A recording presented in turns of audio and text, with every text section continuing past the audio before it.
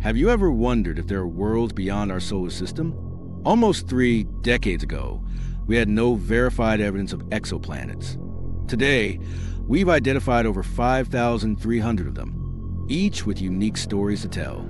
Initially, we discovered large gas giants. But thanks to technology, our search expanded to smaller, rocky planets. Now, we found over 50 exoplanets similar in mass to Earth, and more than 800 with smaller sizes. What's our goal now? To find a planet in the habitable zone where conditions might support life. Remarkably, we're progressing well in this search. We're not just identifying possible candidates. We're discovering entire solar systems with multiple worlds that could sustain life. One such system is Gliese 667, located just 23 light years away in the Scorpius constellation. Gliese 667 comprises three stars, with Gliese 667c being a dim red dwarf. This star has a compact system of planets, some within the habitable zone. Gliese 667a and b are orange red dwarfs, smaller and cooler than our sun. But GJ 667c stands out. It's only one third the mass of our sun.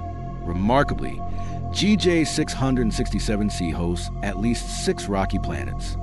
Three or four might qualify as super Earths within the habitable zone. So, what is a super Earth? These are planets larger than Earth, but smaller than gas giants. They could be rocky, with thick atmospheres, ideal candidates for life exploration. The closest planet, Gliese 667cb, is inhospitable it's about 5.5 times the mass of Earth and experiences extreme surface temperatures around 200 degrees C, however. The excitement builds with Gliese 667cc. This planet resides on the inner edge of the habitable zone. It has a mass of about 3.8 times that of Earth. Its year is just 28 Earth days long. Its Earth Similarity Index is an impressive 0.85, earning it the title of the Holy Grail of exoplanets. Due to its dim star, GJ 667cc orbits much closer than Earth does to the Sun, while Earth is one Australian dollar away from the Sun. GJ 667cc orbits at only 12 cents, eight times closer. This proximity likely means it's tidally locked, with one side perpetually in daylight and the other in darkness. A thick atmosphere could allow heat to circulate, possibly resulting in a temperate climate even on the night side. It absorbs less light than Earth but retains heat due to the infrared light it receives. This creates surprisingly Earth like conditions. Yet, challenges exist. GJ 667c emits intense stellar flares that could risk potential life unless the planet has a strong magnetic field or dense atmosphere. What about gravity? A planet with a mass four times that of Earth could mean you'd weigh approximately 60% more there. However, Increased gravity could also mean a denser atmosphere. If similar to Earth, pressure would be elevated. If, like Venus, it could feel like being deep underwater. Despite these challenges, life could still thrive. Earth shows how resilient life can be. Gliese 667cc isn't alone.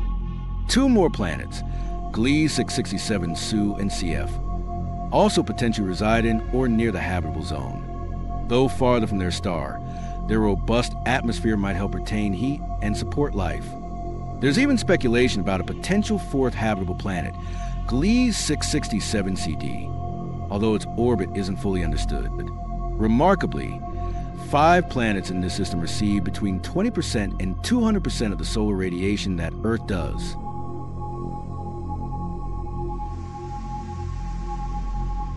This makes them intriguing for studying habitability. Be too close and water vaporizes. Be too distant and planets freeze. The right amount of CO2 is crucial too. Too much and it cools the surface. Too little and warmth escapes. If conditions align perfectly, life could emerge. In 2013, astronomers confirmed six planets around Gliese 667c and hinted at a possibly seventh. This discovery reflects a shift in our understanding.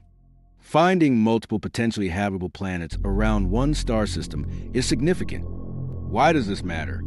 M dwarfs make up 70% of all stars in our galaxy. Systems like Gliese 667c could be more common than we thought. Instead of searching for one Earth like planet out of 10 stars, we might discover 10 Earth like planets around one star. With our telescopes and observation methods improving, we're just getting started in this quest. So, which star system should we explore next? Share your thoughts in the comments. If you're excited about the future of space exploration, like this video, and consider supporting us with a super thanks. Thank you for watching, and keep your curiosity alive.